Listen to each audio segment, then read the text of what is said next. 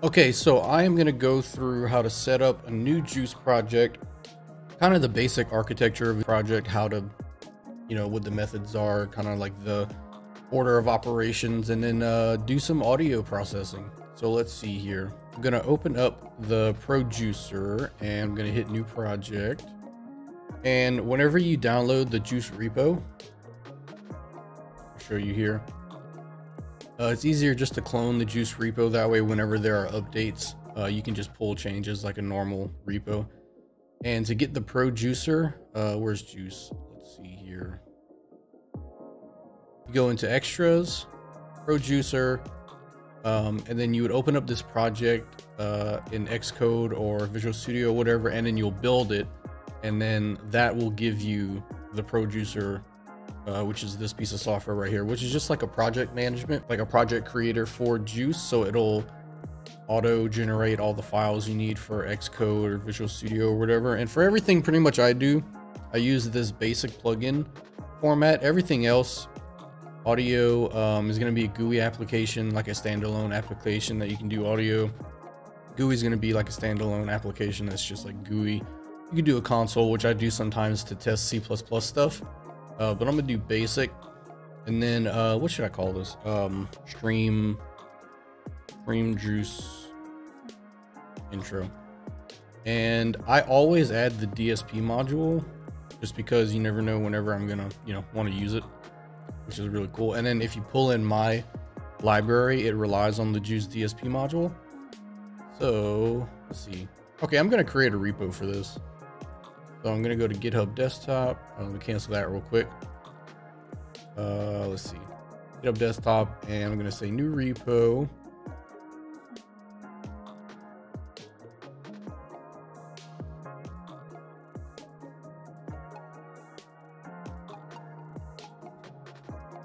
It's hard to type with this microphone in front of me. Um, let's see, stream JUCE intro. Uh, I'm gonna get a README.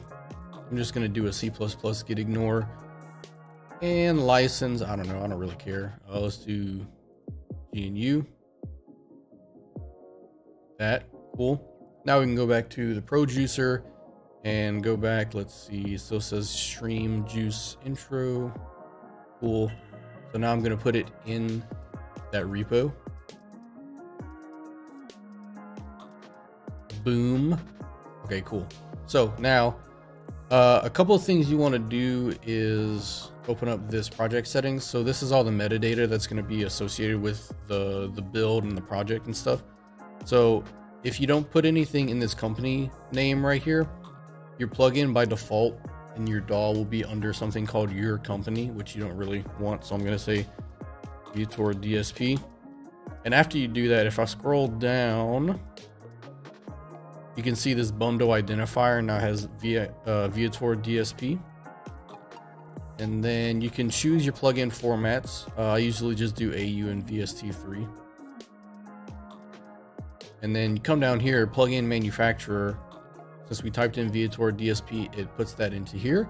And then your plugin name. This is what you're going to see in the DAW on the drop down list. Uh, so maybe, I, I don't know. I'm just going to leave it like that for now. And then not too much other stuff that I um, change. We could change the C++ 17 if we want. Yeah, I want to make also a um, a Visual Studio exporter so that you can use the same project and build it in uh, Xcode or Visual Studio. I kind of forgot. Let's see. There's, uh, yeah, so go down to this plus button and just say uh, Visual Studio 2019. So now you have a cross-platform project that you can open on Mac or Windows and build whichever one you need. And let me double check. I got Viator DSP, I got the name, whatever. All right, cool. All right, it opens it up in Xcode for us. I'm to close all of this stuff right here, open up the four source files that JUCE gives you. And before I even go through any of this, I'm just to build. So in Xcode and Visual Studio is pretty similar, except in Visual Studio, you'll change the build. It's to be over here on the right. Um, but in Xcode, it's up here. So we can change to build just an AU version or just VST3. We can do all, we can do standalone. I'm to do standalone first. Um, it's really helpful for um, just checking things really quickly, uh, checking things visually. So since I'm on M1, I'm to actually have to do Rosetta. Uh, but if you don't have an M1 machine, you'll just, uh, I think there'll just be one choice. It'll just say my Mac or whatever.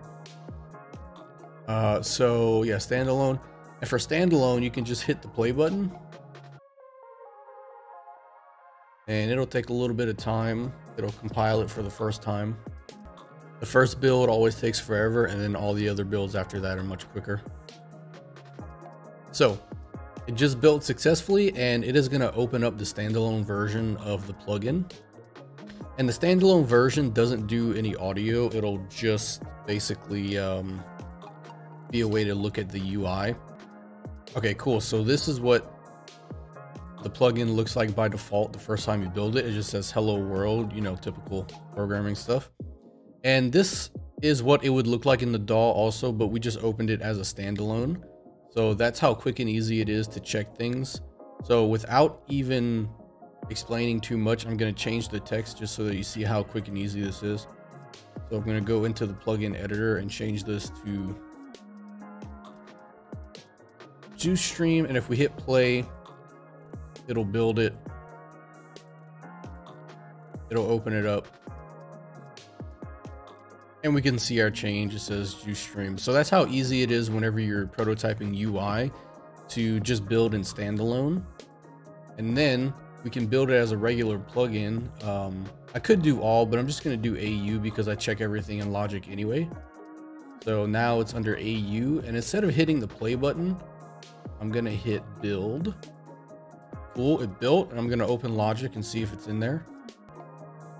Now on Windows, I don't think the build will automatically get sent to your VST folder. You'll have to actually manually put it in there, but on Mac, it puts it in there for you. So I'm gonna do a new file, audio, and I'm gonna say, uh, intro.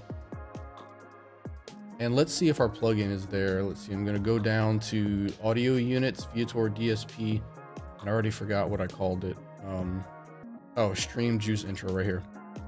And boom, look at that JUCE stream. We got our plugin, it's in Logic. Look how easy that was. We have a plugin, it says my name, and it's really cool. I'm not gonna lie. Okay, so there is a way to build and test in Logic by attaching it to Logic also. So if we go up to product, we can go to scheme, edit scheme. And for the build configuration, you can build as debug or as release. And release is the build that you're actually going to release to the public because when you build in release mode, it gets rid of all of the debug things that Xcode will do for you and it'll optimize all the code. Uh, so while you're in debug, you can check debug statements like assertions and things like that. And the really cool thing is you can use logic to open the plugin in debug so that if your plugin crashes for some reason and this is attached to logic, it'll actually take you to the part of the code that crashed logic. So if we go to this executable, we can go to other, we can type in Logic Pro. Cool. And then, like I said, I'm not going to explain all of these right just this second, but I will do something to kind of show you uh, what I mean real quick. So what I'm going to do is uh, I'm going to make a, a random variable here. I'm going to say bool uh, debug, I guess, is equal to false. And then I'm going to do something called an assertion and JUCE has its own kind of wrapper around assertions called jassert. Uh, I don't remember if I have to use the JUCE namespace or not, but I'm going to just do uh, jassert debug. So what this is going to do is it's going to give you an assertion if whatever you put in um, equates to false. And it did. So watch this. We're going to attach to logic, since we've done this product scheme edit scheme, now you can see the little logic symbol is next to our plugin. And now we can click the play button. It'll build it and open it attached to logic and logic will open for us. You can see it opening at the bottom right here. And we should hit this assertion. Okay, so let's open JUCE Stream intro.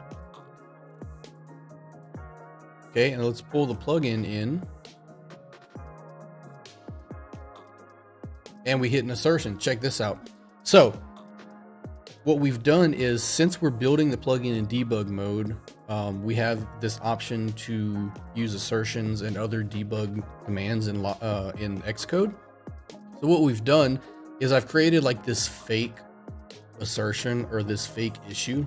So what we've done is since we're attached to logic, it brought us to the line of code that uh, asserted basically and gave us this assertion. So this is really handy for um, if you're, you know, working. One example is whenever you're doing UI stuff, um, if you don't clean up memory um, related to JUCE's look and feel class, um, you'll hit an assertion in the JUCE library. And it's kind of like an, a reminder to go, hey, go to this line right here and make sure that this isn't actually a problem. And this is super useful and I wanted to bring it up before we do everything else because for the longest time, I didn't know this was an option to, you know, I didn't really know how to use Xcode that well. I didn't know how to attach processes and stuff like that. So for a long time, I was developing without this, and it really is uh, something that you shouldn't um, overlook even when you're just learning. So I would say um, set up your project the way I did, uh, where you go to product, scheme, edit scheme, and you can choose which DAW you want to open it with. Like I could do Studio One or Reaper if I wanted, but you know, I do everything in Logic. I like Logic. So that way you have the option to open it in debug mode with Logic. And basically you can build it in three different ways now. You can go to standalone right here if you just want to check the GUI real quick, check the way the plugin looks. Cool. You can go back to AU and if you want to open it with logic, opening at the same time, you can hit the play button. But if you don't want to do that for some reason and you just want to build it, you can go to product, build, and it will build and not open logic. It'll op only open with logic if you hit the play button. So all of this is super necessary and super helpful. Thanks for watching. Feel free to be active in the Discord and do some stuff in Discord. I'd love to answer any questions, help you out with anything. And yeah, uh, I'll be back Monday, same time, 5.30 Central Standard. Thanks for watching, y'all. See you next time.